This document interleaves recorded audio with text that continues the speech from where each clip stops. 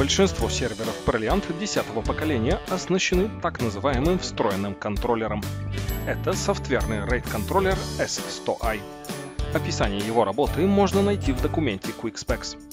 Если при помощи S100i собрать дисковый RAID массив, то на нем можно установить только операционную систему Windows. RAID для Linux собирается при помощи дополнительного программного обеспечения.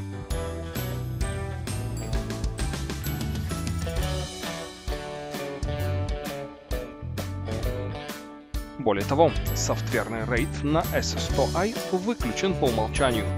Чтобы его включить, следует перезагрузить сервер и зайти в меню настроек, нажимая F9 во время поста.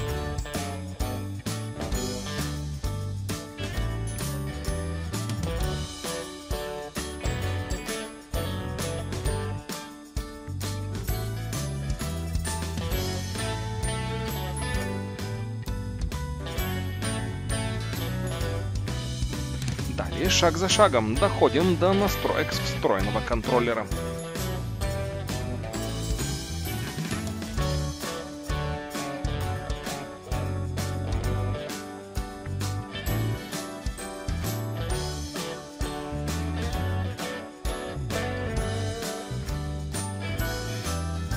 Имейте в виду, что софтверный RAID работает только если сервер настроен на UEFI BIOS, а не на Legacy.